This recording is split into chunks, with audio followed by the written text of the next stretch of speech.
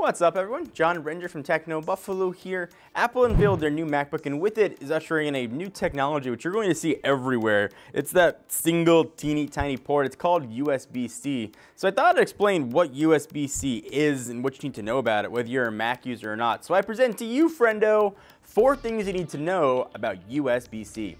Let's start with number one. First, it's USB. Actually, it's part of USB 3.1. Uh, one of the really cool benefits of USB 3.1 Type-C um, is that it offers enough juice to power your laptop as well as really anything else. Uh, that was the case with USB 3.0 on some products like the Lenovo Yoga 3 Pro, which also charge via USB port. But the main difference here is that it provides way more power. So not only can you plug in your computer to charge via the same port, there's also plenty of juice left to charge other devices. The USB IF group in charge of the standard said that in August, USB Type-C is, and I quote, robust enough for laptops and tablets, but slim enough for mobile phones. It offers power with up to 100 watts or 20 volts, which is just plenty for a notebook, um, but also plenty of benefits on the data side too, which brings me to point number two. USB 3.0 offers a pretty nice data transfer bump over USB 2.0 and 3.1 to Type-C connectors does the same thing. I should expect data transfer speeds between USB Type-C devices up to 10 gigabits per second, up from 5 gigabits per second offered on USB 3.0. Although I will say on the new MacBooks, Apple's actually with software downgraded that to about 5 megabits per second for right now. But the theoretical max of 10 megabits per second is almost on par with the first standard uh, of Thunderbolt. Uh, it's also backwards compatible, which is why Apple is selling you dongles allow you to connect older USB 2 and 3.0 devices uh, to your notebook. And as Apple told us, the data transfer rate is high enough that you can attach HDMI, VGA, and DisplayPort adapters to that single USB Type-C port. Number three, it's reversible. You can just plug it in any way you like, which is way helpful. You don't have to look to be like, oh, that part with the color, I gotta make sure I put that on the bottom.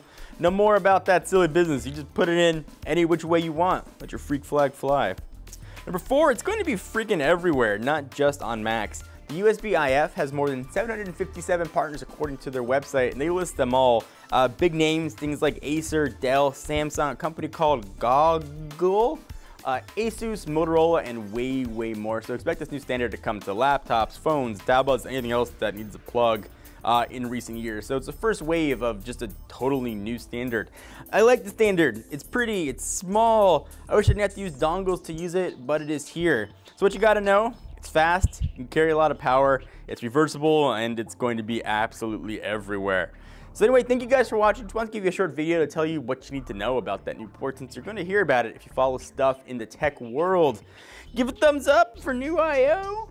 Until next time, I am Jon Rettinger from TechnoBuffalo. If you like TechnoBuffalo videos, and I hope you do because we love making them, hit the big subscribe button right here and you get the latest as they come out. See you guys next video. We stopped the video just real fast to thank our friends and good peeps at Lenovo. If you guys thought yoga was just about cat, crow, and dog poses, you, my friend, are terribly mistaken. Let me tell you about the Yoga Tablet 2 Pro. So this thing's got a built-in projector. that actually can put up to a 50-inch image on any wall or screen, essentially just mobilizing your home theater. Uh, it's rocking a 13.3 inch 2560 by 1440 pixel display, front facing stereo Dolby surround sound speaker, and powered by Intel's latest Atom processors. This thing is absolutely perfect for work and play.